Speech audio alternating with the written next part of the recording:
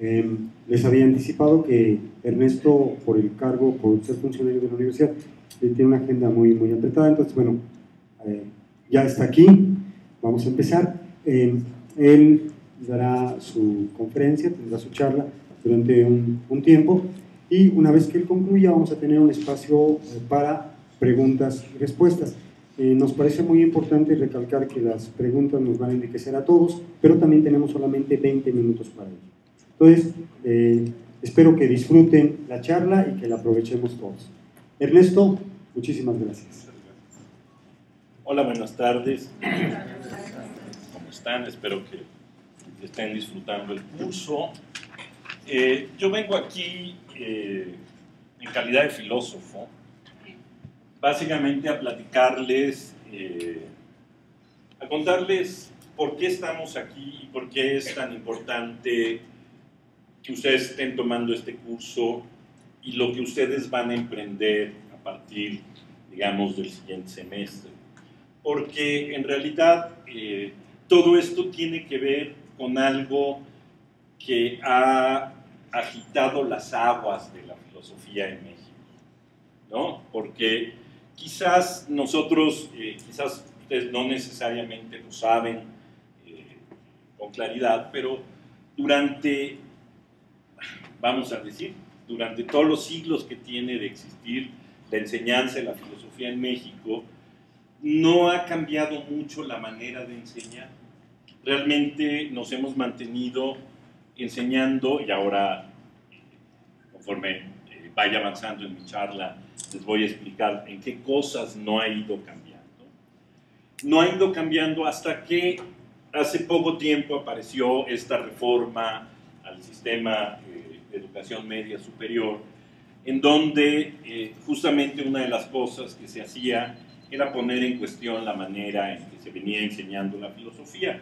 Incluso en un primer momento se dijo que las materias humanísticas desaparecían porque no se iban a impartir con los nombres y con las, este, con las características que venían teniendo las carreras, las, este, las materias, sino que se iban a convertir en transversales, algo que no, tenía, no dejaba muy claro, sobre todo a la comunidad filosófica, qué significaba eso de transversalidad, pero que al final resultó, me parece, en algo extraordinariamente positivo, que fue justamente el preguntarnos cómo, para qué y con qué finalidad tenemos que enseñar pues las materias tradicionales de filosofía, que son la lógica, que es esto primero que ustedes van a impartir, luego la ética, que es otra de las materias fundamentales que se imparten en el bachillerato, y finalmente esta que tiene el nombre fabuloso de filosofía,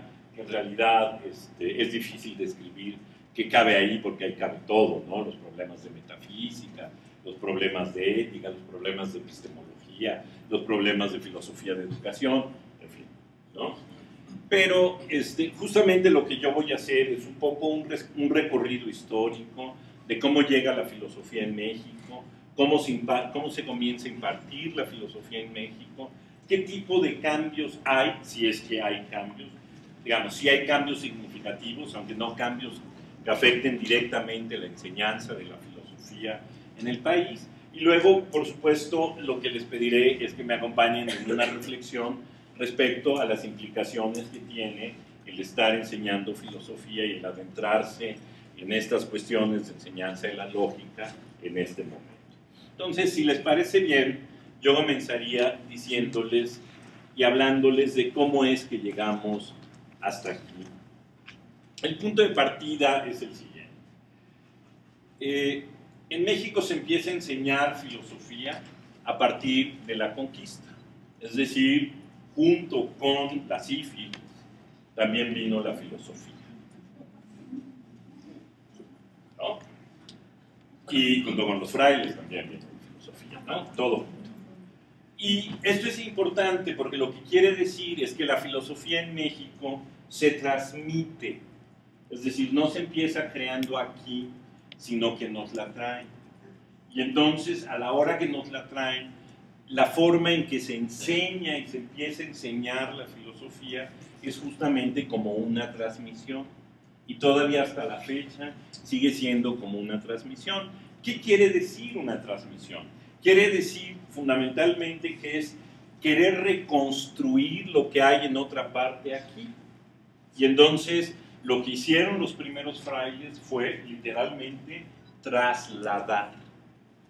Trasladar al punto, y eso es muy interesante, que los primeros profesores universitarios empezaron a defender que la Ciudad de México era la Atenas de América. Y la idea de decir que era la Atenas de América era justamente para decir, bueno, es que como en Atenas, aquí también se hace filosofía.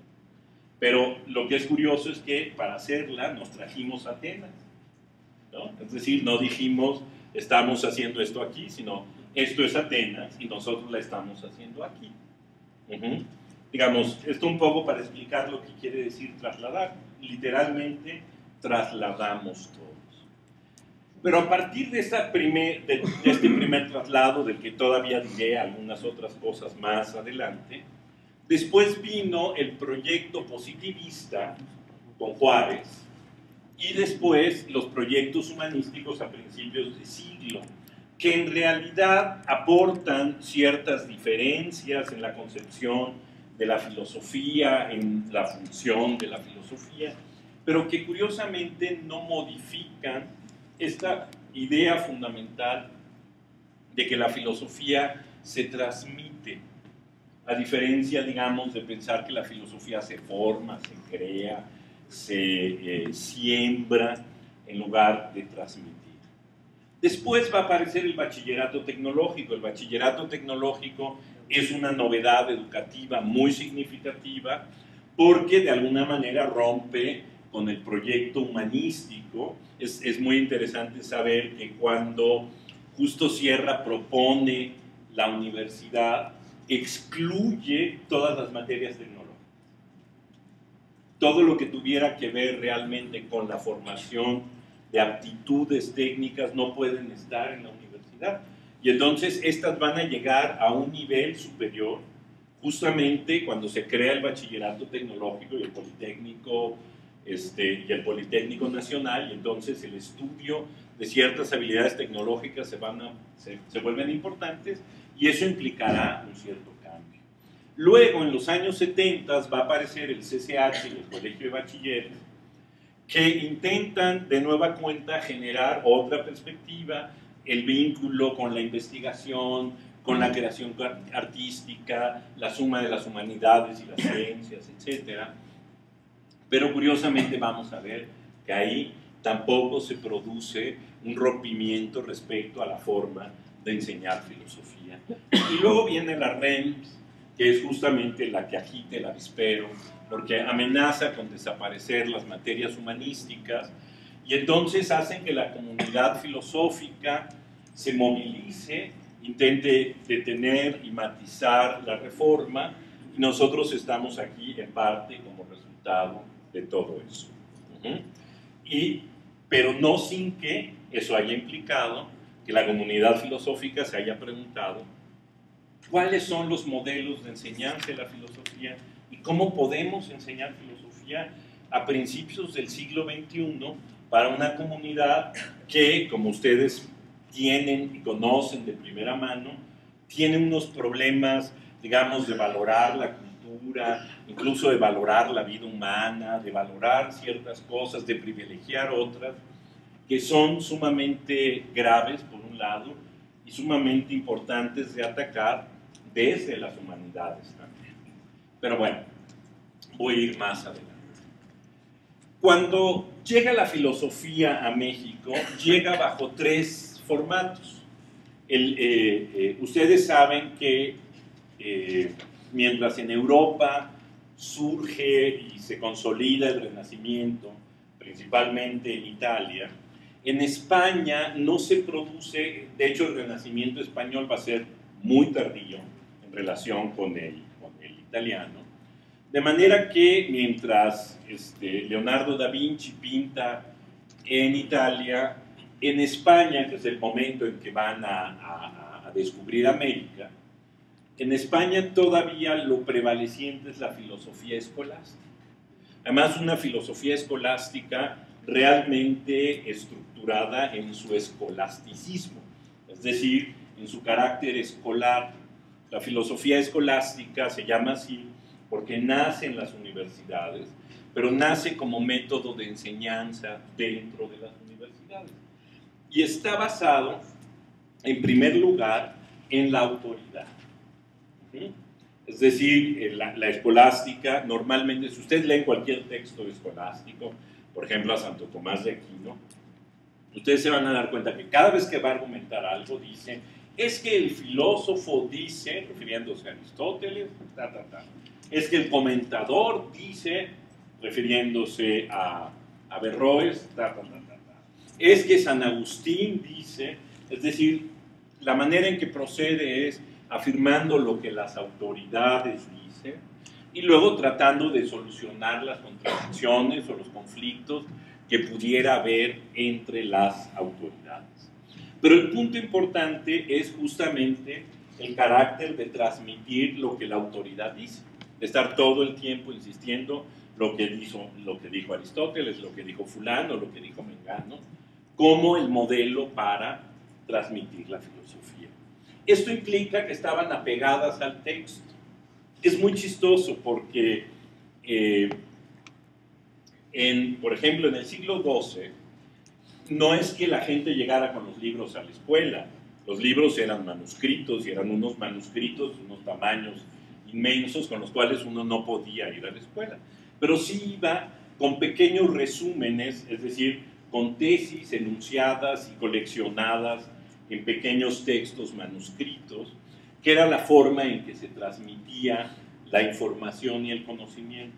Es decir, eh, los únicos que tenían libros en realidad eran los conventos y en la universidad lo que se manejaba en realidad eran las sentencias. Digamos, uno de los libros más conocidos de la época son las sentencias de Pedro Lombardo, que son eso, pequeños, pequeñas ideas, pequeñas afirmaciones acerca de todo, de lo que dice Aristóteles, de lo que decía San Agustín, de lo que decía, etc. Pero se discutía justamente eso, se discutían esos textos. La gran novedad de la enseñanza escolástica es que se basa en textos. Eh, al lado de la Sorbona en París, que es una de las primeras universidades, estaban los copistas, como actualmente ocurre en las universidades, que al lado de las universidades están las fotocopiadoras. Exactamente igual, nada más que antes era a mano. ¿no? Y entonces los alumnos salían con sus apuntes y los hacían reproducir a mano por los copistas. Lo interesante es que lo que se enseñaba principalmente era la lógica. ¿Por qué? Porque se supone que el instrumento principal de reflexión, eh, el instrumento principal para reflexionar en filosofía es justamente la lógica. Y que si nosotros enseñamos lógica, y aquí siempre hay que saber que es lógica aristotélica, el modelo que se seguía, el organón y todos estos textos aristotélicos, era lo que se enseñaba fundamentalmente. ¿Por qué? Porque la manera de referirse a las autoridades, de analizar el texto, tenía que estar apoyado en lógica. Lo, que, lo primerito que escriben los profesores universitarios en México, y casi todos son nacidos en España, que vienen a dar cátedra aquí y es hasta la segunda generación que empieza a ver ya algunos criollos dando clases aquí, son textos de lógica. Es decir, Fray Alonso de la Veracruz, Antonio Rubio, por citar dos de los más importantes, lo que hacían eran sus propios manuales de lógica. Y los libros que más conservamos de esa época son manuales de lógica. Porque claro, eh, tanto entonces como ahora, el que hace el manual que todo el mundo consulta es el que se vuelve más famoso. Entonces todos los profesores hacían su manual de lógica, lo usaban en clase y por eso tenemos muchos. Pero bueno, la herencia es entonces esta, ¿no? Se usaban las, este, se usaban las autoridades, las autoridades se usaban apegadas al texto y se daba la lógica como disciplina, como disciplina central de la enseñanza de la filosofía. Esto van a ver prácticamente cuando, este, cuando llegamos a la mitad del siglo XIX, estamos hablando de la mitad del siglo XIX, ya saben lo que pasa exactamente después de la independencia. De hecho, lo primero que hacen después de la independencia es cerrar la universidad. Cerrar la Universidad Real y Pontificia de México, porque es una corporación, porque es una corporación religiosa, porque tiene privilegios, etc. Y entonces buena parte de la revolución de independencia va en contra de eso, sobre todo la parte liberal, que como ustedes saben será la que terminará ganando. Toda la primera parte del siglo XIX va a ser fundamentalmente, entre otras cosas, un abrir y cerrar la universidad, dependiendo de quiénes llegaban al gobierno. Al punto de que, por ejemplo, José María eh, Luis Mora, que es uno de los críticos principales de la universidad, eh, hace una comisión para proponer la desaparición de la universidad y dice que la universidad debe desaparecer, incluyendo el nombre. O sea, cualquier cosa que se vaya a hacer en adelante no se puede llamar. O sea, ese nivel de, de transformación querían llegar. ¿Qué es lo que está pasando? Es decir, ¿cuál es el diagnóstico que hacen los, este, nuestros próceres de la independencia respecto a la enseñanza escolástica, que todavía se seguía enseñando utilizando la escolástica. Básicamente, que había aparecido algo nuevo que se llamaba ciencia, que significaba una idea de progreso que no estaba contemplado en la filosofía escolástica. La filosofía escolástica no piensa que hay novedades, al contrario, como se basa en las autoridades. Entonces ya todo fue dicho, ya todo se sabe. Entonces no hay creación de conocimiento. Pero para mitad del siglo XIX ya existe la economía, ya existe la física, ya existe la química, que son ciencias y que imponen otro modelo, que exigen otro modelo este, de conocimiento. Y entonces se hace esta gran reforma educativa en tiempos de Juárez, y esa reforma educativa que significa la aparición, entre otras cosas, de la preparatoria nacional y de los institutos científicos, literarios en Toluca, en Campeche y en otras, este, la verdad es que no recuerdo en, qué tantas otras entidades, pero aparecen estos y es importante esto que son institutos científicos y literarios, porque aparece la palabra ciencia, que es el proyecto de Gabino Barreda y Juárez, la, la doctrina filosófica que guía toda la reforma educativa es el positivismo. Pero curiosamente el positivismo lo que hace Comte es decir, ok, el mayor saber es el, es el de la ciencia, pero el saber que está en la, en la cumbre de la ciencia es la filosofía.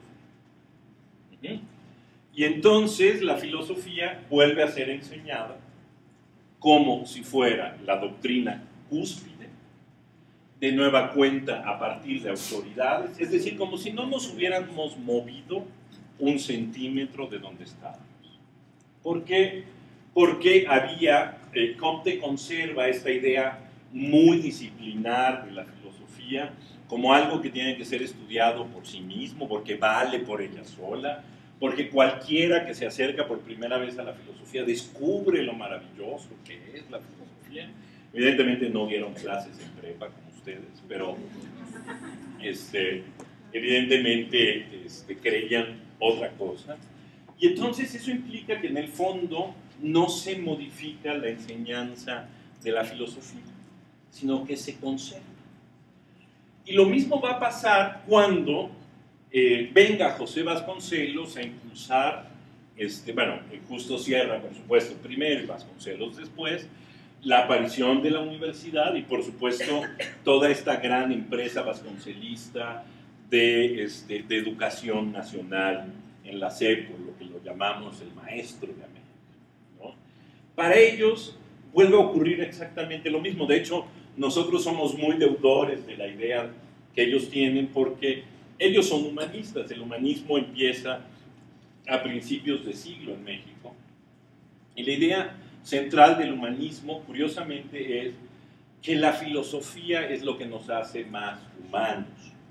Y que entonces todos tendríamos que saber filosofía. Es decir, si los hombres quieren alcanzar su plenitud, la única manera de alcanzar su plenitud es mediante el estudio de la filosofía. La Escuela Nacional de Altos Estudios, que es la que va a dar lugar a la Facultad de Filosofía y Letras de la UNAM, tiene justamente esa idea, es decir, el corazón de la Escuela Nacional de Altos Estudios es la filosofía y las letras, y después las ciencias, de ahí va a aparecer filosofía y luego la Facultad de Ciencias digamos, como, como los dos modelos, como los dos, las dos grandes facultades iniciales. Pero lo que es interesante justamente es que hay una veneración disciplinar de la filosofía y la idea de que la filosofía se tendría que estudiar de nueva cuenta por sí misma. Eh, acuérdense que el grupo del Ateneo al que pertenece, entre otros Vasconcelos, lo que hacía era reunirse para leer a Platón eran 10 muchachos que se reunían. En, realidad, además, se reunieron solo 5 veces. Pero eran maravillosos. Este, hoy, hoy diríamos que tenían un marketing extraordinario. eran buenísimos para vender que ellos eran el gran cambio. Pero que la idea era esa. Es decir, si uno se quería convertir en un hombre de valor, tenía que poderse reunir a, a platicar. Antonio Caso que es otro de los miembros de ese, de ese grupo, tiene un libro muy interesante que se llama este, La vida como economía, no sé qué, ¿eh? y como caridad, pero son dos, ¿no? La vida como economía, algo más y caridad. Bueno, ahí se me fue el, el nombre. En donde lo que él argumenta es que la filosofía es caridad el problema de las ciencias es que todas están implicadas en el proceso económico y tienen funciones económicas. La gente estudia eso para ganarse la vida. en cambio la filosofía no sirve para nada, y en realidad les debemos a ellos la idea de que la filosofía no sirve para nada, ¿no? La filosofía no sirve para nada y por eso es lo más valioso que hay en el mundo, porque entonces es como la caridad, ¿no? Es lo que te sobra. ¿No? Lo que ya no tienes de más. Y entonces, digamos, si hay que atribuirles a alguien que nos hayan dejado un legado que es al mismo tiempo muy rico, y sin embargo algunas ideas que hoy tratamos a toda costa de combatir, como la idea de que la filosofía no sirve para nada y que estudiar filosofía es un acto de caridad, ¿no? o sea, un acto de generosidad no económica, que entonces los filósofos no deberíamos cobrar, ejemplo, nada de eso, este, termina siendo esto una cuestión que tiene que ver más bien con, este, con no volver a tocar la forma de enseñanza de la filosofía. ¿no? Otra vez, de lo que se trata es de trasladar la filosofía y por lo tanto de leer textos y leer manuales. Ellos fueron grandes lectores de manuales, digamos, eran muy inteligentes, pero también lo que hacían era apegarse a enseñanzas tradicionales de la, este, de la filosofía. El propio Vasconcelos promueve eso, la enseñanza a través de antologías y manuales, etc. Porque finalmente, sobre todo la parte de letras y filosofía, no se mueve de esta idea disciplinar de que la filosofía debe ser estudiada por sí misma, es decir, de todos tenemos que saber lógica, todos tenemos que saber Todos tenemos que haber leído algún día a Kant, a Hegel, a Nietzsche, etc. Pero básicamente no se mueve la, la forma de enseñanza de la filosofía. Tampoco se va a mover cuando se introduce la tecnología y la enseñanza tecnológica, que como ustedes saben se produce casi 50 años después de la aparición de la universidad como una gran novedad a mitad del siglo XX. Es decir, de pronto nos damos cuenta que no todos tienen que ser médicos, abogados, este, que son médicos, abogados, contadores, ingenieros, este, arquitectos, ¿no? Esas más o menos son las cinco más populares, con alguna con alguna otra por ahí este, que se me, se me escape, ¿no? Sino que también podían ser, bueno, ingenieros, que es una tecnología, pero que también podían enseñar cosas, tecnología agropecuaria, que podían dedicarse como a otras esferas y que esa profesionalización también era necesaria. Por supuesto, esto se produce en asociación con la idea de que ciertas enseñanzas tienen que estar asociadas con la productividad.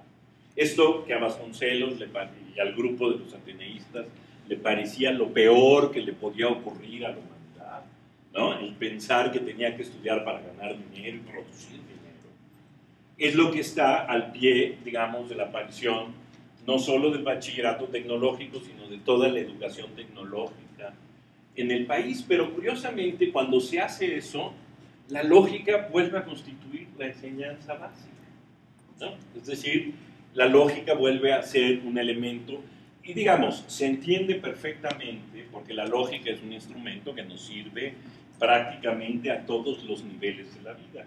El problema no está en, en si la lógica debe ser enseñada o no, sino en si la lógica debe ser enseñada como una disciplina que todos deberíamos conocer, o si la lógica tendría que ser enseñada como un instrumento en el contexto de lo que se necesita.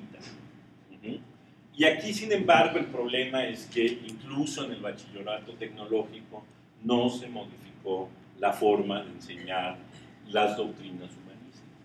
Se mantuvo la idea disciplinar, se mantuvo la idea de que lo que hay que dar es un traslado, de lo que hay que producir es una, eh, un aprendizaje apegado a la autoridad y a los textos, etc. Y entonces no se movió para nada, digamos, no vuelve a haber ningún cambio.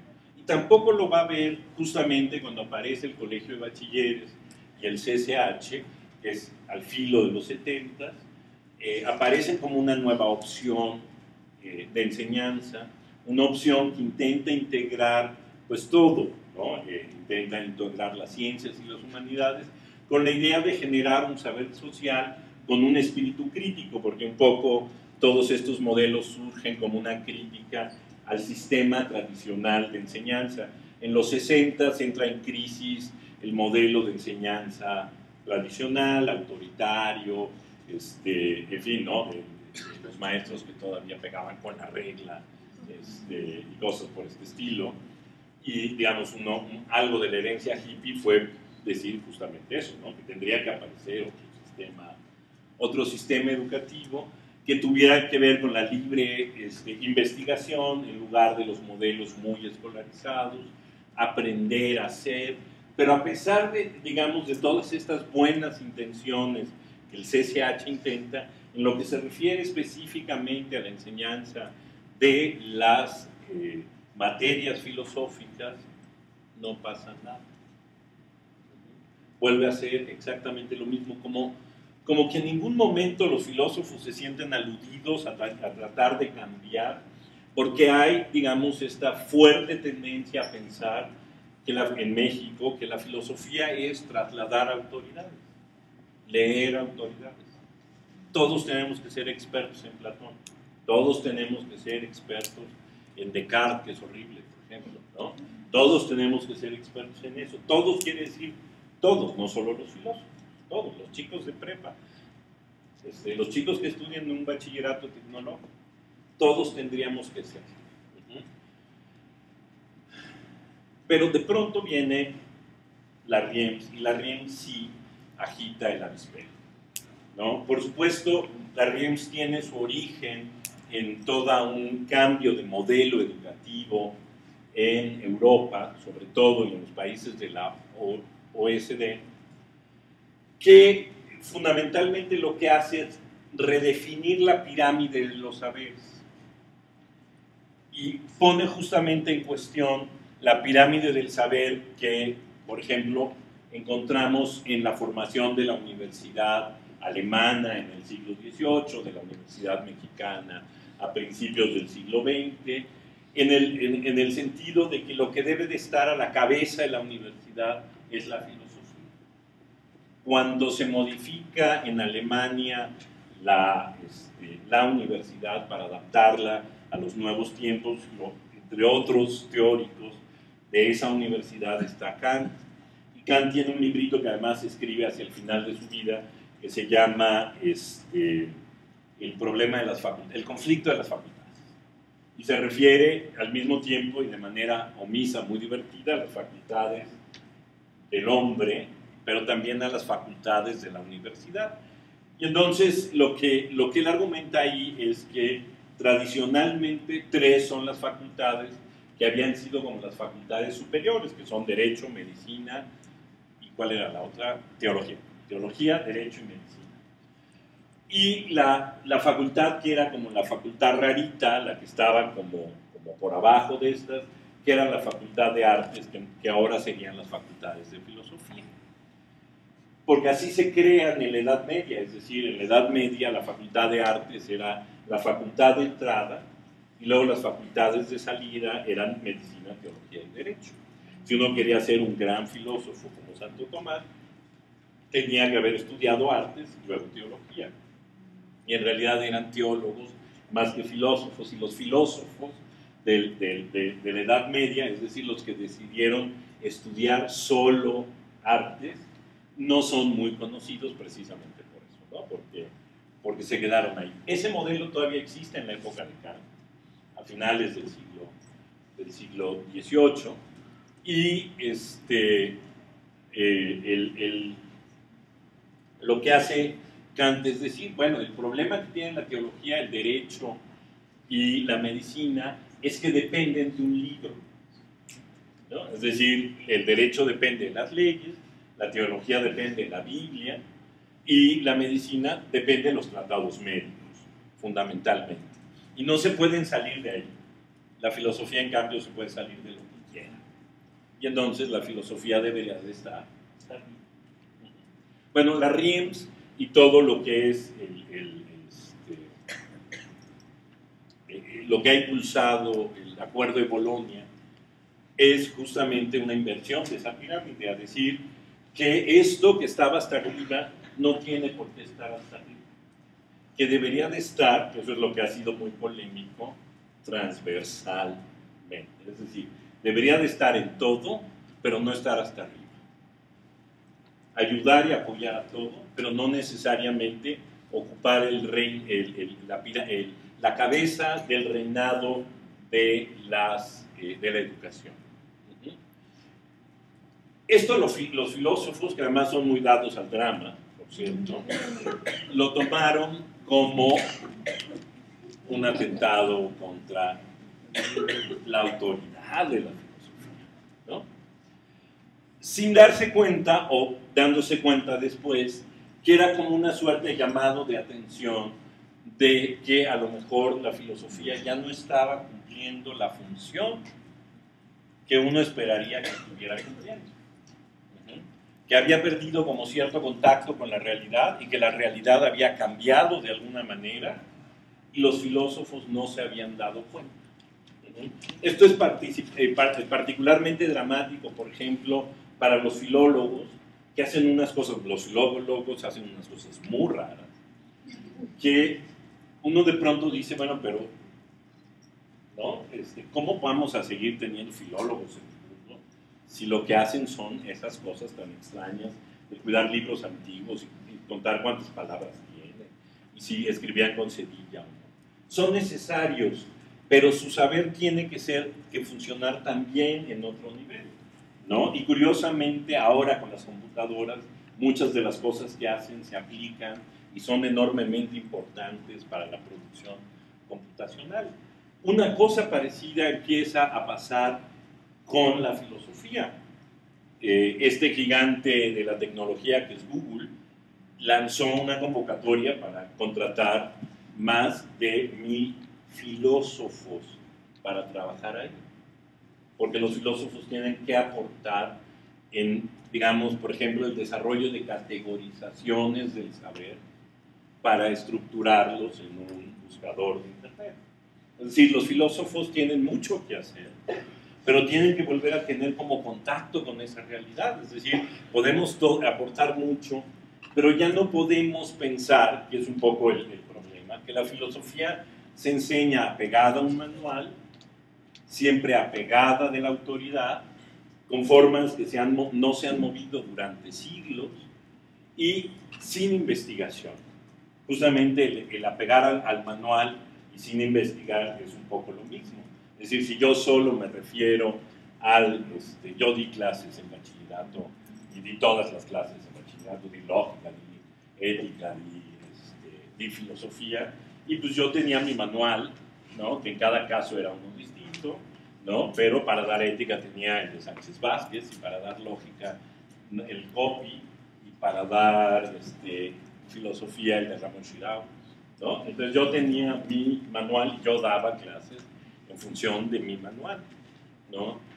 Y eso siempre implica que el problema del manual es que luego uno no hace nada más. ¿no? Y entonces eh, lo que acaba haciendo uno es transmitiendo los errores del manual, entre otras cosas, algunas positivas, pero también los errores del manual. ¿no?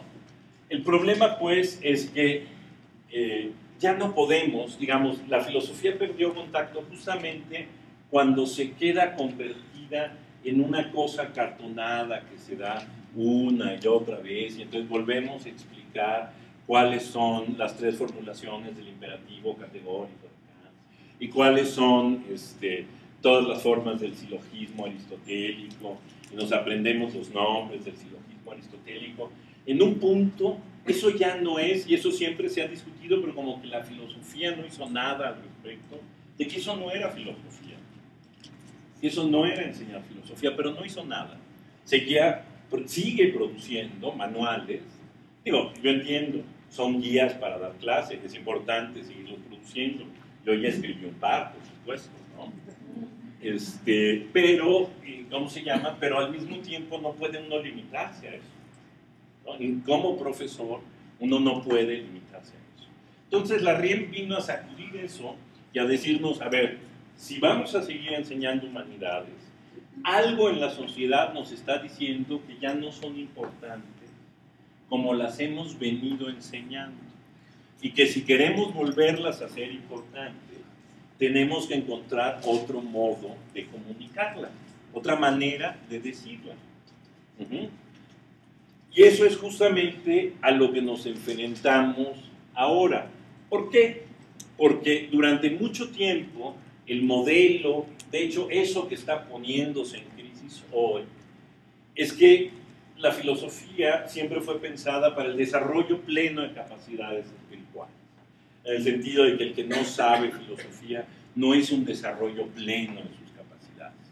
Nosotros sabemos que eso no es cierto, que la gente puede tener un desarrollo pleno sin haber aprendido filosofía, y lo puede tener habiendo aprendido filosofía y que a lo mejor lo que nosotros queremos ya no son el desarrollo pleno de las capacidades eh, eh, eh, espirituales, sino de otras cosas, digamos, que, nosotros podamos preguntarnos de otras cosas. Y un poco lo que hemos venido diciendo hasta ahora, la filosofía siempre fue enseñada como el culmen del saber, este, y que todos tendríamos que ser ilustrados, y la idea de ilustración es justamente esa, la idea de que todos sepamos filosofía, Casi todos los, es muy, es muy interesante el problema de los ilustrados, porque casi todos los ilustrados son tomados como filósofos, Voltaire, Diderot, etc., cuando en realidad lo que hicieron fue escribir un diccionario. Y el gran éxito de la ilustración fue haber producido un gran manual de sabiduría, una gran forma de comunicación de, lo que se quiere el saber total hoy el equivalente de intentar hacer la Wikipedia. y, porque, eh, curiosamente, ellos acabarán haciendo obras literarias que son mucho mejores, incluso a veces, que sus tratados filosóficos. ¿No? Es, es, muy curioso cómo la ilustración convertirá la filosofía también en esa, esa imagen genial, cuando en realidad lo que están produciendo es, es un diccionario. Pero bueno, justo eso es lo que tenemos que transformar. ¿Y cómo lo podemos transformar? ¿De qué manera nosotros podemos eh, girar las cosas? Y parte de esta charla tiene que ver con eso. Una cosa que es importante y en la que hay que trabajar es en vincular el bachillerato con la universidad. Es vincular, en el fondo, el bachillerato con la investigación, para que no sea el bachillerato realmente el receptáculo de una serie, digamos, de manuales creados únicamente para este consumo, sino que en realidad el estudio y la enseñanza sea algo que esté vivo, vinculado necesariamente con esa otra parte de la educación superior, que es la educación universitaria. Pero también la idea, y aquí, digamos, esta idea de que la filosofía viene con la sífilis, este, se repite, porque cuando uno empieza a enseñar filosofía, queda contagiado y pasa a formar parte de la comunidad filosófica. No importa si su formación, si su origen, si su interés por la filosofía estuvo este, desde un principio ahí, o si ustedes llegaron a esto porque, bueno, finalmente la manera en que enseñamos nuestros intereses personales, las condiciones de la vida, nos fue llevando justamente a enseñar filosofía. Pero el problema es que una vez que lo hacemos ya no se Y entonces lo que es importante es que formemos una comunidad filosófica, discutamos. Hay muchos temas que tenemos que discutir como comunidad filosófica. No importa en qué nivel impartamos nosotros la enseñanza de la filosofía, los temas son comunes. El tema de cómo hacer significativo lo que enseñamos es muy importante para todos. De hecho, esta es la pregunta, este, esta es la pregunta que nos tendríamos que hacer. ¿Cómo debemos enseñar desde la filosofía? Hasta ahora hemos reflexionado en formas de transmitir la filosofía, pero realmente lo que queremos es transmitir la filosofía o lo que queremos es hacer que la filosofía se convierta en algo que importa, algo que sea útil, algo que tenga algún tipo de relevancia. Porque yo sé que todos ustedes lo saben y lo comparten conmigo, pensar es fundamental. El examen de uno mismo es esencial en cualquier aspecto de la vida.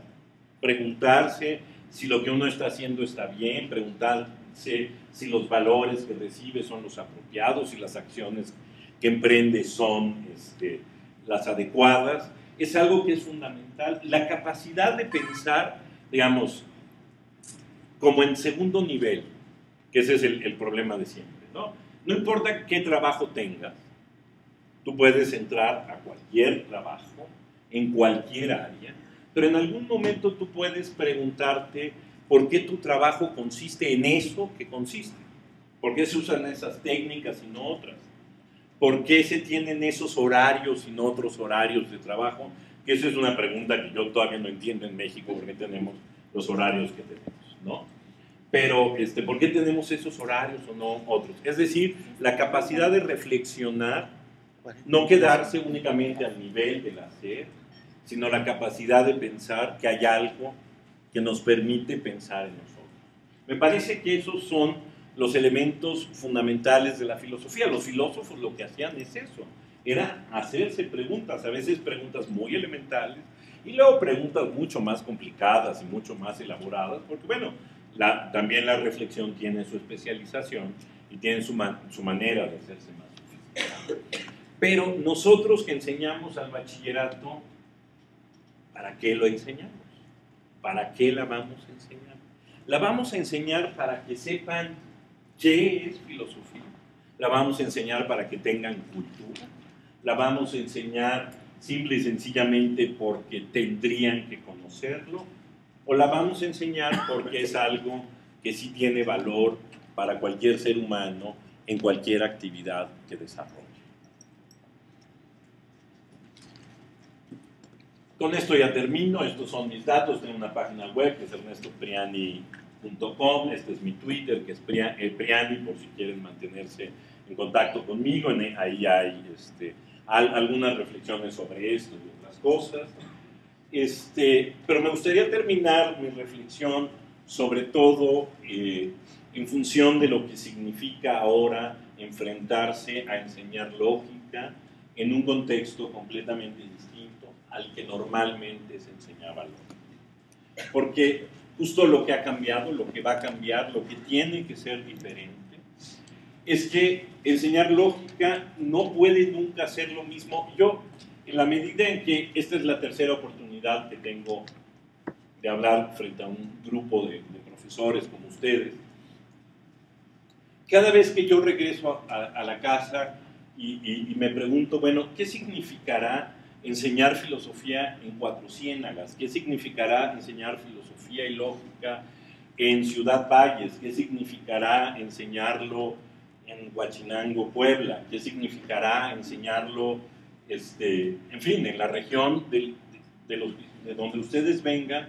A mí de pronto me, me, me genera una angustia porque son realidades que no necesariamente conozco, que uno imagina que son parecidas, pero que no son parecidas, ¿no? Que los problemas claramente que hay, por ejemplo, de violencia en ciertos estados, hace que dar este, clases no solo sea una cosa, este, híjole, llena de valor y de riesgos, sino además enfrentarse a una realidad que justamente lo que presupone es que estudiar no tiene ningún valor, ningún significado y no va a pasar nada, ¿no?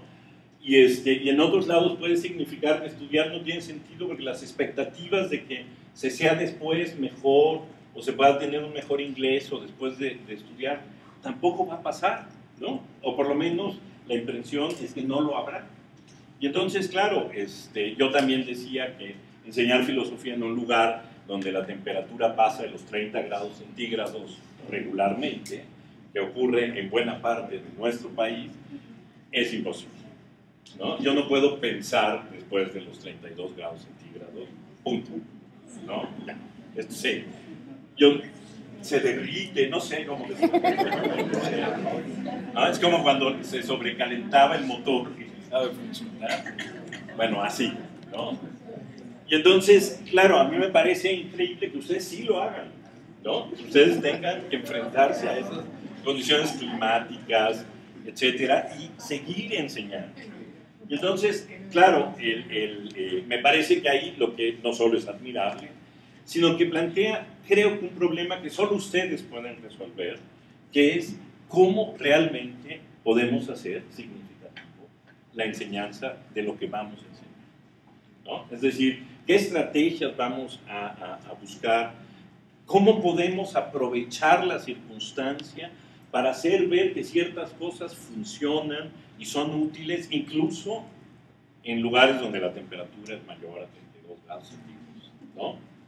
Es decir, este, y está en ustedes, ¿no? Porque, vamos, yo siempre he dado clases aquí, en la Ciudad de México, y entonces, claro, yo tengo una impresión de, eh, del tipo de colegio, el tipo de gente, el desinterés normal que tienen los adolescentes en esto, pero este, yo sé que hay otras realidades completamente diferentes y que hay que saberlas aprovechar y que son un reto en sí mismas, que son una, incluso una desventaja ¿no? o, un, este, o un enorme este, obstáculo para empezar. Pero justamente por eso creo que ahora hay una oportunidad para dejar de lado esta enseñanza manual de la filosofía y tratar de eso, formar una comunidad filosófica que tenga la experiencia de todos ustedes, que creo que es lo más, este, lo más importante y lo más valioso. Bueno, con esto termino y como decía Víctor, tenemos este, unos 20 minutos si quieren comentar, platicar, preguntar algo. Sí, adelante, a ver si no, así, así, ya nos acostumbramos a hablar. Ah, ok, perfecto. Perfecto, muy bien. Independientemente de las precisiones en la sucesión histórica de, los criterios, independientemente de si en realidad Caso y Vasconcelos y compañía, ellos presentan la filosofía como valiosa por su carencia de aplicación práctica eso aparece en Aristóteles de manera turbativa. Independientemente de eso, me llamó la atención mucho algo, donde usted reveló de manera espontánea su verdadero sentir. Dijo, una vez que la tocaste, igual que la tisis, ya no te la quitas. Pero previamente toda la exposición había ido, teniendo un toquecito que no deja de impactar a quien empieza a ver la filosofía, un toquecito de que no es indispensable para la realidad humana, para la realización del hombre, para su exaltación como ser humano. En estas dos propuestas, dejar bien fundamentado que no hay eh, una necesidad implícita en la filosofía de alcanzar al hombre en totalidad. En la última propuesta es tan espontánea. Una vez que la tocas no la sueltas. ¿Cómo conciliar ahí eso? ¿Por qué no la suelta? ¿Qué hay en la filosofía que hace que el hombre se enamore de esa manera de ella? Hay una exigencia de su propia naturaleza y en este caso hay que desmentirlo primero. Lo que pasa es que justamente lo que nos enfrentamos es un fenómeno que es contradictorio. ¿no? Uno puede vivir perfectamente bien sin saber absolutamente nada de filosofía. Perfectamente bien. Podemos interactuar. Es lo mismo, es lo mismo vivir perfectamente bien, en qué sentido, y alcanzar la plenitud humana. Sí, sin, sin mayor problema. Es decir, la filosofía que cambia, ¿qué podría cambiar? ¿no? Hay una frase por ahí que siempre me ha gustado, que, este, que dice que, eh, que la vida sin examen eh, es como vivirla una vez y la vida con examen es como vivirla dos veces. Es decir, a lo mejor lo que nos da la filosofía es la posibilidad de darnos cuenta de cómo vivir. Y entonces vivirlo como con doble intensidad, como si tuviera una doble carga de. Pero no pasa nada, es decir, a nadie le pasa nada si no sabe. Ese es, ese es el enorme problema a conciliar. ¿no? Es decir, uno puede nacer, crecer, etcétera, y nunca, a mí me parece abismal, pero nunca hacerse una pregunta acerca de lo que viene haciendo. ¿no? Y bueno, llegará y se, se acabó. Y sin embargo, si los acercamos con la filosofía, de hecho, el problema es que una vez que uno se acerca la filosofía, cambia. ¿No? Y entonces, incluso hay un filósofo como Giordano Bruno diría que es exactamente, que eso es incluso malo, porque la posibilidad de ser infelices es mayor cuando uno sabe filosofía. ¿No? Y entonces, este, mejor no la sepas, ¿no? Mejor sigue siendo feliz y olvídate ¿no? El asunto es eso, si eso es el hombre. Y entonces vuelvo a lo mismo, se está logrando más. Los latinos, recus arandi, canis custodiendi, como optimum Pero justo eso es lo que tenemos que, eso es lo que hay que detener. Es un prejuicio filosófico pensar que la filosofía establece una diferencia entre los hombres. O sea, lo, lo, paradójico de todo esto es que sí, pero no. Sí, es decir, pasamos a tener la posibilidad de hacer algunas cosas, pero la posibilidad de hacer algunas cosas no marca una, una superioridad. Eso, de hecho, a eso nos enfrentamos todo el tiempo. Es decir, por un lado, a la, a la arrogancia de los que saben de decir, como yo sé, entonces tú no vales nada o vales menos, o no, no. Y por otro lado, la respuesta que es, ah, pues es que es mejor no saber, ¿no? Porque yo gano más dinero y soy más feliz, y me entretengo más y no me pregunto cosas. El asunto es intermedio. Algo pasa y algo, y algo se debe construir justo entre esas cosas, ¿no? Justo entreverando esas cosas. Claro, yo soy una apasionada de la filosofía y yo les diría que yo sin filosofía no podría vivir. ¿no? Mis hijos lo aborrecen, les parece lo peor que les puede haber ocurrido en la vida, tener un papá filósofo. No, porque no, la experiencia de mis hijos es no le puedes hacer una pregunta a tu papá si no tienes 20 minutos para escuchar una respuesta. Entonces, es complejo. Bueno, me hiciste recordar la frase de que el filósofo estudia para comprender las cosas que pocos comprenden y explicar para que nadie te entienda. Así es. Pero este, fíjate que ahorita me llamaba la atención cómo es que tuviste que acudir a la historia del pensamiento para criticarla. Y, y, y curioso, solo a través de que te te metiste, te sumergiste en eso, puedes tener una, una comparación. Y el reto de que pues ya se quiten las clases de filosofía aburridas, hombre, que tradicionalmente se daban, porque nada más era, una, era, un, era un, un depósito del alumno donde tenías que este, colocar, el profesor tenía que colocar conceptos, este, posturas de otras, etcétera, de otras ideologías. A mí sí, siempre me ha llamado la atención y, y como mencionaste, el positivismo es otra de las adaptaciones de otro país, de otro lugar, eh, sumergidas en un país diferente, único, con sus características individuales que no son iguales. Y digo, ojalá, ojalá y que, que ahorita el reto que hay, yo lo decía de manera coloquial para no entrar en controversia con Víctor, le decía, a mí me gusta, yo ayer concluí, dice, no, a mí me gusta, me gusta que regrese la filosofía, pero no quise decir, me preocupa cómo se va a dar. Eso no lo quise decir, esa parte no la quise decir para no entrar en controversia, para respetar. Eso es lo que a mí me preocupa, ciertamente. Y por eso me emociona. Si, si yo quisiera, vamos a hacer como un, un énfasis. Yo para estar aquí tuve que trabajar, para estar en este momento aquí, aquí, aquí, tuve que trabajar 14 años para estar aquí. Y hace un año mi plantel, mi director, mi jefa de docentes, no pensó en involucrarme en esto porque dice, ¿para qué desperdiciamos eh, un espacio? Hay que enviar a los profesores que van a dar filosofía, pero que no saben qué es filosofía, porque Julio ya sabe. Ese fue su criterio, fíjate. Qué curioso, ¿eh? Entonces, tuve que decirle, no, déme chance, déme oportunidad, voy a aprender, o sea, a lavarles el coco para que escucharan lo que ellos querían. Bueno, porque, digamos, yo entiendo perfectamente bien la lógica, es decir, si tú ya sabes filosofía, entonces, ¿para qué vas a un curso? Sí, sí. De, para enseñar. Pero yo, pero hay algo que dices que me parece muy importante. Mis clases de filosofía siempre fueron muy aburridas. O sea, no las que yo imparto, sino...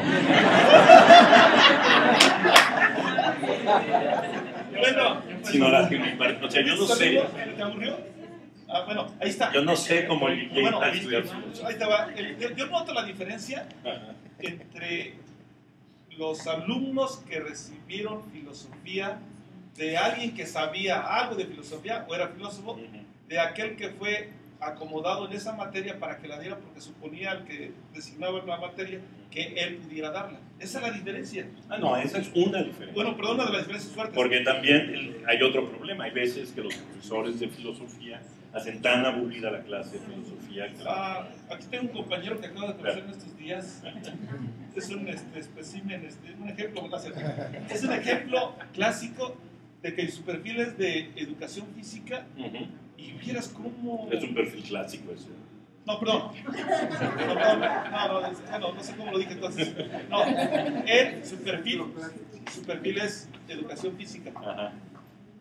¿Y cómo expresa lo que conoce y cómo expresa lo que hace en el aula de filosofía? Ah, no sé. O sea, por eso, es que... Está interesante. Por eso, es que... Pero yo creo que el punto que tocas es muy importante. Sí. La filosofía se ha enseñado. El mayor reto que tenemos, ya no solo en filosofía, en general, cualquier profesor que entra al aula, es que no, la clase no sea aburrida. Ya hay muchos pedagogos que han llamado la atención de que la crisis actual de la educación es que estudiar es aburrido. Y que el Facebook es mucho más divertido, no, por ejemplo. ¿no? Este, perdón, nomás una última, nomás para cerrar. Sí. Una pregunta, si me la quieres contestar. Este, ¿Habrá un mecanismo ya donde se dé una filosofía mexicana o mínimo latinoamericana? ¿O todavía tenemos que seguir acudiendo a, Mateo Lippmann, a etcétera, otros exteriores? Mira, lo que, hay una enorme disputa, incluso de si, de si hay una cosa que se llame filosofía mexicana. Lo cierto es que hay filósofos mexicanos ya, ¿no?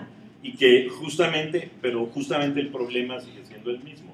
La filosofía, aunque ahora se produzca ya en México y en Latinoamérica, sigue siendo no, no tanto copia, sigue siendo una actividad de Occidente y por lo tanto nacida en Grecia, que viene de Europa, etc. ¿no? Y entonces, sí, tenemos nuestra propia versión, pero sigue siendo, eh, ahí nada más para, para puntualizar, los americanos hicieron otra cosa, los americanos decidieron no enseñar historia de la filosofía.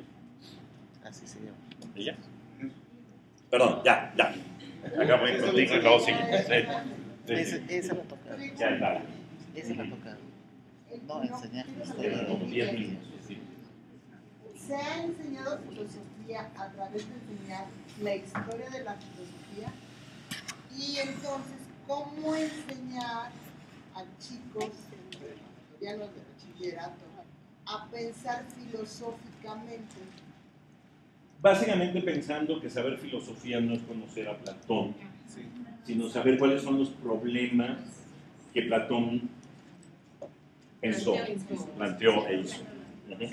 O sea, es un giro, porque la manera que hemos ido enseñando filosofía, cuando la enseñamos históricamente, es que es fundamentalmente informativa.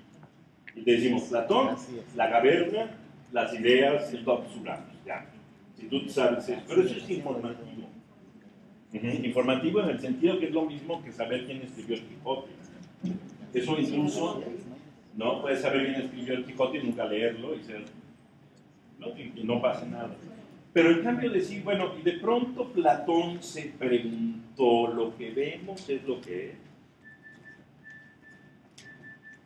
Entonces, digamos, eso nos lo hemos preguntado todos alguna vez. Realmente lo que estamos viendo es lo que existe, es lo que es.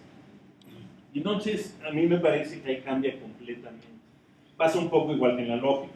La lógica puede ser un aprendizaje meramente enunciativo. A ver, ¿cuáles son las formas del, este, silogismo? ¿O cuáles son este, los modos de la lógica formal? Ya. Y entonces te los aprendes, los repites, y, ¿no? Pero ¿a qué responde la lógica? ¿Qué- ¿Por qué de pronto Aristóteles empieza a decir, a ver, hay una forma de enunciar la? ¿verdad? Hay una forma. ¿Cómo es esa forma? ¿Cuál es la manera más adecuada? Si yo quiero probarte algo, ¿cuál es la manera más adecuada para hacerlo? Entonces cambia. A mí me parece lo que hay que rescatar es el espíritu filosófico, ¿no? No tanto la historia. Ahí es donde, esa es justo la diferencia entre trasladar y crear. Por eso, justo lo que hacen los americanos es no enseñar historia de la filosofía como tronco principal de la enseñanza de la filosofía, sino la lectura de, los, de las disputas y los problemas contemporáneos. Sí, a ver, tú y lo que tú. Decir dos cosas brevemente. Uno, gracias por darnos una charla a, a los maestros que en gran mayoría no somos filósofos, hacernos digerible y fácil. Otra, me asombra mucho y reconozco mucho y admiro que como filósofo se autocuestione la parte en cómo se ha enseñado la filosofía en, en todos los ámbitos. Y viene el planteamiento de la nueva comunidad de indagación de esta nueva propuesta de cómo enseñar filosofía en el siglo XXI, ¿no? que es lo que siempre tengo. O sea, tenemos que, ya no tenemos que enseñar de la misma manera que hace 20 años porque ya no es compatible. Tenemos una nueva realidad. Gracias. Y no solo eso, tenemos una nueva realidad. Tenemos el reto de ahora sí enseñar filosofía, No la historia. no la historia. O sea, de- dejar de ver la filosofía como una curiosidad cultural y, y ver la filosofía como una actividad que, que produce cosas en, en el ser humano. Y que los su vida. Exactamente, ¿no? Porque sí, yo desde que iba en la prepa podía recitar el nombre de todos los libros que me había leído, etcétera, etcétera. Pero eso, es, eso en realidad es solamente información. La, la, la cuestión es cómo esa información, o cómo dejar la información, hombre, si van a ser filósofos, ya aprenderán quién es Platón y quién es Descartes, etcétera. Pero lo, lo importante es que si ellos en realidad van a ser dependientes de una tienda, olvídense que tengan una carrera profesional, que van a atender este, una tienda o que van a, este, hombre, se me ocurre, trabajar en el campo, etc. Lo importante es que algo les, algo les produzca eso y puedan pensarse, que creo que eso es lo más, lo más importante. Sí. Doctor Saizó, hace un momento nos exponía usted, bueno, fue muy reveladora la, la conferencia magistral, perdón. Me pone nervioso hablar con usted. Nos expone eh, magistralmente las razones de la filosofía, de la enseñanza de la filosofía en México. La verdad es que yo venía con muchas dudas de por qué se enseñaba primero lógica y luego filosofía, etc. Esto ha quedado claro para mí, sobre todo por el asunto de cómo convertir el, el Gracias. Entonces, me paro mucho. Eh, de cómo convertir el- la materia dura de la filosofía en una cuestión didáctica. Sobre todo los fines, y queda muy bien claro para mí, los fines de la filosofía, por, por qué enseñar filosofía. Hace un momento yo no quiero hacerle una pregunta, más bien quisiera que usted extendiera la información. Me llamó la atención y yo creo que sería la única pregunta así interesante en esta, en esta conferencia que usted deja abierta para que un poco se pueda gestionar de ahí. Eh, eh, el asunto de, mencionaba usted, por ejemplo, el periodo de introducción del positivismo por eh, Antonio Caso, Gabino Barrera y Vasconcelos. Ujú. Y esta es una, digamos, una enseñanza que viene directamente de Augusto Comte, en el ciclo que está duro. Eh, es así como se ha enseñado filosofía. La mayoría de los que hemos estudiado filosofía en, en maestría, etc., eh, hemos recibido esa enseñanza. dura. Ujú.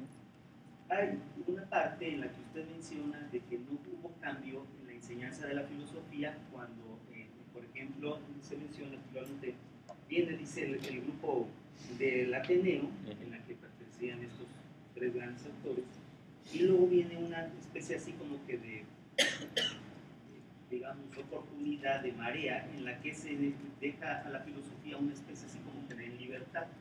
Ujú. Y dice aquí, hay una lámina que usted expone ahí, dice saber social, espíritu crítico, libertad de investigación, no escolarizado. Y dice aprender a hacer. Ahí, en ese momento, me hace pensar rápido en lo que legan un poco otros autores que no son precisamente mexicanos, como por ejemplo eh, Iván Illich, que también estuvo en México Sí, sí, por supuesto. eh, como por ejemplo la maestra Montessori, como por ejemplo Freire, Ujú. como por ejemplo Piaget. Por supuesto. Y entonces me llamó la atención esa afirmación de que no hubo cambio en la Ujú. forma de enseñanza. Ahí desde luego yo incluyo una serie de cosas que lo mejor sería que usted las expusiera porque usted es el que sabe de eso. Pero sí me llamó la atención un poco este... Claro, eh, mira, entiendo, entiendo tu inquietud porque efectivamente hubo una gran revolución educativa en ese momento. Es decir, todos estos autores que mencionas intervienen en la producción de este nuevo modelo, este, de este nuevo modelo educativo, la aparición de las escuelas este, activas, este, la aparición del CCH, etcétera, digamos, incluso todo este giro hacia una men- mayor, menos rigidez de la educación afecta al conjunto de la educación, pero no a la enseñanza de la filosofía. Es decir, los filósofos no se sienten tocados necesariamente por eso. Y lo puedes ver en los programas del CCH. Los programas del CCH siguen siendo la historia de la filosofía. ¿no? O sea, están incluso, eh, digamos, un poco lo que siempre ha pasado. El modelo sigue siendo el de la preparatoria nacional, o sea, el de principios de siglo, nada más luego lo van haciendo más chiquito y, te dicen, ok, esto que se daba en un año lo das en seis meses y de manera activa. ¿No? Y, es, y ya. Eh, eh, eso fue un poco lo que pasó. Digamos, la verdad es que la filosofía ha sido muy resistente a cambiar y los maestros de filosofía han sido muy resistentes a cambiar. Esa es, digamos, la, la- la evidencia. Bueno, este, una par de preguntas más. eso, Sí. eh, eh, aunado a eso, que en el caso, por ejemplo, de la metodología de Lippmann y esta nueva postura de la enseñanza de la filosofía representa un cambio significativo a lo largo de todos estos siglos de enseñanza de la filosofía. ¿A qué nivel? Ah, mira, yo, yo lo pondría específicamente en México. Es decir, yo no sé qué haya pasado con la enseñanza de la filosofía, bueno, tengo una idea, ¿no? En España, en otros lados. Pero aquí significó una gran crisis de la comunidad filosófica. Una verdadera y profunda crisis de la comunidad filosófica que, que tuvo una reacción primero gremial, de decir es que si nos desaparecen las materias, entonces ya luego ya no podremos dar clases en el bachillerato. ¿no? ¿Dónde, dónde nos van a meter? Si, si la clase no se llama... Esto a pesar de que sabemos de que es imposible que haya tantos filósofos como se necesita para dar clases de filosofía en el bachillerato, y, y digamos, por supuesto, ustedes son la prueba vivi- viviente de que eso es así. Es decir, yo sé que entre ustedes hay algunos filósofos, pero que son una minoría, ¿no? Y porque, hombre, ¿no? No producimos filósofos, o sea, la gente no entra a la carrera de filosofía así, este, ¿no? No, como entra derecho, digamos, no. ¿no? Entonces, este, primero hubo una reacción gremial, pero junto con esa reacción gremial hubo una verdadera crisis de ¿para qué estamos enseñando filosofía? Ujú. y, y- y digamos, ahí hay que decir que ha habido una clara diferencia entre eh, ciertos profesores de filosofía del bachillerato y los profesores universitarios de filosofía. Los profesores eh, de filosofía del bachillerato sí están muy preocupados, sobre todo por la integridad eh, disciplinar de la, de la materia. Y, digamos, eh, en otro lado estamos como menos preocupados, yo en- además en particular, por la integridad disciplinar y más por la posibilidad real de pensar qué es enseñar filosofía. Yo no tengo la respuesta, bueno, tengo una respuesta que sería la manera en que yo siempre he enseñado filosofía a cualquier nivel, que es hacer la filosofía significativa, ¿no? Y usar, este, a mí el ejemplo que me encanta es, es que el programa de televisión más popular, ya no hoy, pero más popular du- durante más de una década, es creado por un filósofo. El autor de Los Simpson es un filósofo, ¿no? Y incluso hay, lo tengo por ahí, se puede ver en YouTube, va a uno de estos programas de entretenimiento no- nocturno, el autor de los, de los Simpson, y le preguntan qué estudió, y él dice, yo estudié filosofía, eso explica todo, ¿no? Y hay sobre todo los programas que estaban bajo control de él, programas de una profundidad filosófica, pero puestas de una manera muy interesante. Digo, hay este en que Homero Simpson va a un restaurante chino y pide pez globo, pero el cocinero no lo sabe cortar y entonces no sabe si se va a morir.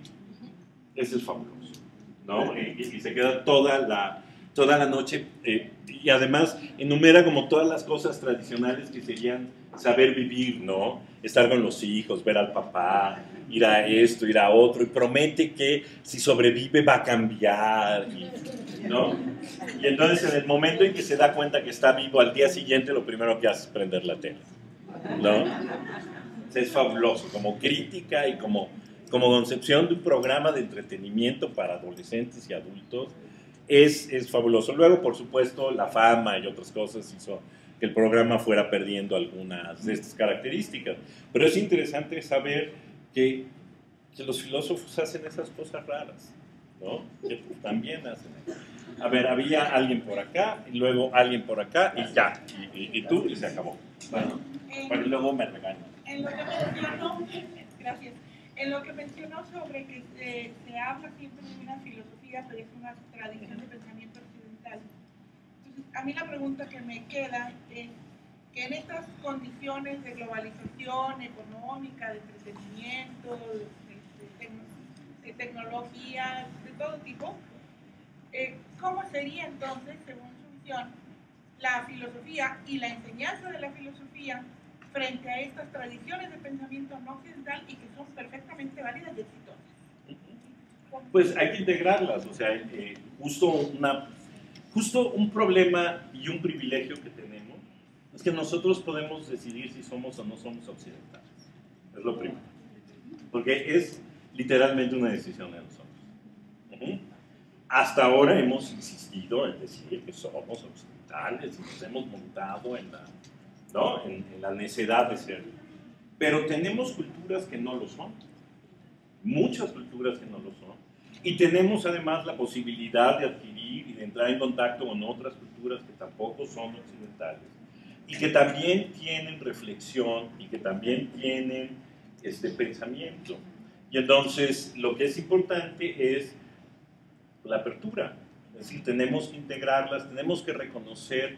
Es, ese es algo que es muy importante, ya ocurrió en algún momento en el Renacimiento. Hay, hay un filósofo que a mí me, me encanta y que trabajo mucho, que es Pico de la Mirándola, que lo que él dice es, la verdad está en todas partes. Lo único que varía es la forma en que se dice. ¿no? Y entonces, él intenta integrar distintas disciplinas para enseñarlas. Eso es un privilegio que nosotros podemos hacer. No, es- no, no, no somos griegos, ni somos alemanes, ni somos franceses, obligados por una tradición a ser alemanes, franceses, este, italianos, griegos, etc. Somos mexicanos y podemos libremente decidir hasta cuándo somos occidentales y hasta dónde no. Y eso significaría entonces en algún momento dejar el promontorio epistemológico, sea, nosotros somos filósofos occidentales y todo lo de allá es mito. Así todo es. lo de allá es- Así es. Sí, digamos, lo que, lo que su compañero decía es que si eso significaría dejar que Occidente sea la referencia del saber. Sí, de hecho está en crisis decir que, que, eh, Occidente es la única referencia del saber, por supuesto. ¿Mm? Perdón, entonces eran, eras tú y luego ahí. Mm, felicidades primeramente. Gracias. Sobre todo porque tú mismo pones en tela de juicio tu mismo papel como filósofo, en color de la incertidumbre que nos acosa. Más fuerte. Mejor que un micrófono. Sí. Eh, la incertidumbre iba sobre la cuestión de que vamos a compartir lógica, reflexión ética o ética y, y temas filosóficos. Eh, ¿Puedes tener de acuerdo en apor- aportar tu opinión sobre si es, es válido que mezclemos las tres? al final, eh, al final las vas a mezclar. No siempre se mezclan, no siempre la mezcla es el momento más afortunado. Pero la lógica las vas a necesitar para todas, ¿no? Porque argumentar, exponer, explicar, etcétera, la, la vas a necesitar. Y tus argumentos y tus ejemplos pueden ser tomados de la ética o de la filosofía, porque además un poco lo rico de la, de la enseñanza de la lógica es cuando la utilizas para, para enseñar cómo se plantea un problema, cómo se tratan de encontrar las soluciones, cómo se expone mejor una idea, cómo cuando uno expone una idea la expuso bien o la expuso mal, o no se entiende nada de lo que dijiste, etc. Entonces, eh, lo ideal es que todas estén integradas todo el tiempo, pero sin perder de vista qué es lo que estás enseñando en cada caso, por supuesto. Doctor, eh, quizás sea la pregunta. Gracias. Quizás sea la pregunta más simple, ¿no? Pero tengo la duda. Quizás la tendrán algunos de mis compañeros. ¿Cuándo una persona se convierte en un filósofo? Me llamó la atención su presentación porque dijo usted vengo como filósofo. Eh, ¿Cuándo una persona se convierte en filósofo? ¿Qué tiene que hacer para que los demás le digan, eres filósofo? Ah, porque entiendo que no basta estudiar una licenciatura en filosofía para decir soy filósofo. Entonces, ¿qué tiene que hacer el ser humano para convertirse en un filósofo y ser reconocido como filósofo? Bueno, mira, la respuesta es, es- es- yo, yo empezaría diciendo, no solo, no, eh, es que ni- a veces ni, ni siquiera es necesario estudiar filosofía para ser filósofo, ¿no? Este, mira, cuando yo estaba por terminar la carrera, mi, mi mamá me quería sorprender con un regalo de, de, de fin de carrera. Y entonces se puso muy misteriosa y me empezó a preguntar que cómo nos llamaban los filósofos. ¿No? Yo dije, pues filósofo. ¿no? no, no, pero, porque no me quería decir, te voy a mandar a hacer una tarjeta de presentación. ¿no? Y entonces tenía que ser misteriosa, ¿no? Tenía que ser misteriosa. ¿Cómo se llaman los filósofos? Porque quería que yo le dijera licenciado en filosofía o, ¿no? Ella era arquitecta y para ella era muy simple decir, bueno, pues arquitecta y entre los arquitectos no hay problema, ¿no? Tú estudias una carrera, tienes un título, eres arquitecto, se acabó. O filósofo en una tarjeta. No.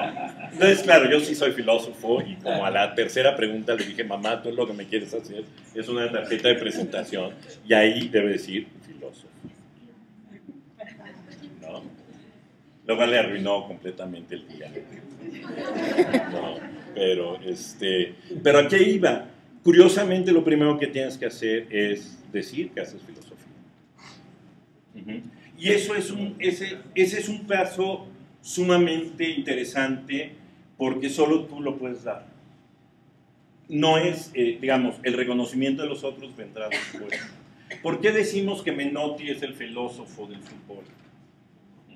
¿Por qué hace teoría del fútbol? Porque habla y habla y habla y de pronto empieza a hacer teoría del fútbol.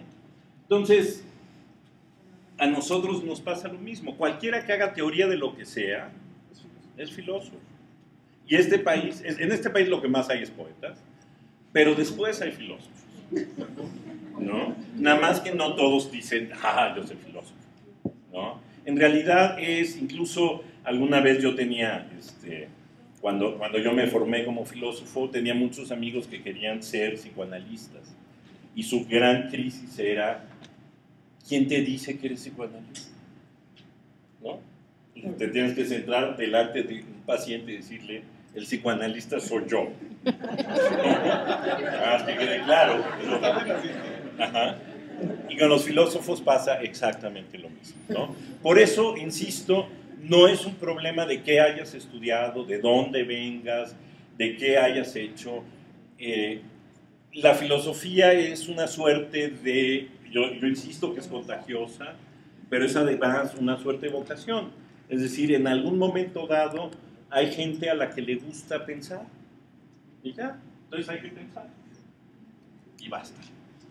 Muchas gracias a todos.